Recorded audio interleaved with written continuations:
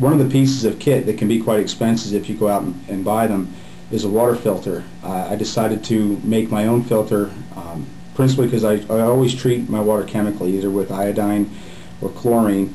But oftentimes the, the water sources that you're using are kind of suspect and uh, they can look quite chewable. So what I'd like to do is get all the junk out of there before I treat my water chemically. The filter that I uh, is my own design here. Um, it does not treat water 100%. It gets the junk out of it so you can treat it chemically, which makes your water uh, better tasting and a little more appealing. The, uh, this filter is designed to remove things from the water, but it doesn't remove uh, everything. So when you use this filter, you have to use some kind of chemical means or boiling afterwards. Uh, this is just a way of cleaning up water so it'll be more effective to treat it chemically. The filter itself is very simple. It's just made out of PVC. This is 20 millimeter uh, PVC pipe, which uh, I've got uh, two sections, an upper section, and a lower section, and then the little end here is a, a, nozzle with a little piece of rubber on there to help the water get into the canteen better. I've been using this system in Brazil for about eight years now, and uh, I have never had a waterborne illness um, when using this filter with the chemical means. The pieces of the filter are quite simple. Uh, there's two sections of 20 millimeter PVC which are have been sanded so they fit in the, the pipe joint so you can take it apart and put it together, but it has to fit snugly so that it doesn't fall apart in the bush. The upper section of the PVC just has a section, a small wad of uh, synthetic fiber that was uh, bought in a pet store. This is not cotton, it's synthetic. Uh, it, cotton doesn't work very well, but that's the pre-filter. As the water comes in the filter, it first passes through the little wad of fiber.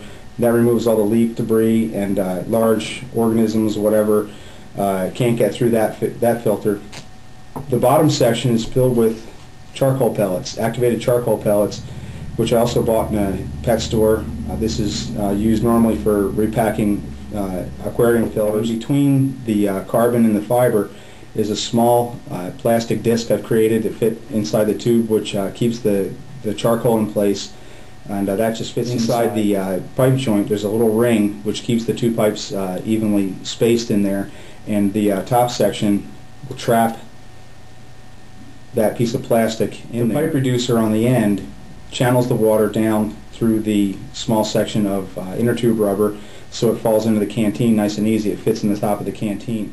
So there you have it. Uh, very simple, fast flow filter. Uh, basically how I use this in the bush is I'll set it up on top of the canteen and then I'll use my canteen cup to fill raw water from whatever source, stream or pond or lake or whatever through the top. The water passes through the, the top of the filter. Um, usually what happens is it'll, it'll fill up and then slowly drain down through the carbon down below but it'll fill up this tube and as it drains down I just keep adding more. Uh, the, the water first passes through the wad of uh, fiber synthetic fiber, and that drains out all the suspended particles, large things that you wouldn't want to drink or have in your canteen.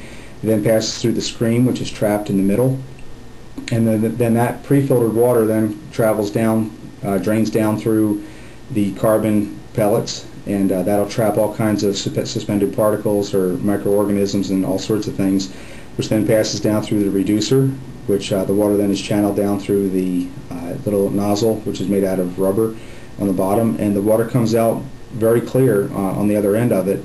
Much better uh, tasting and much much more effective to treat it chemically after that with either iodine tablets, iodine drops, or chlorine uh, tablets or drops.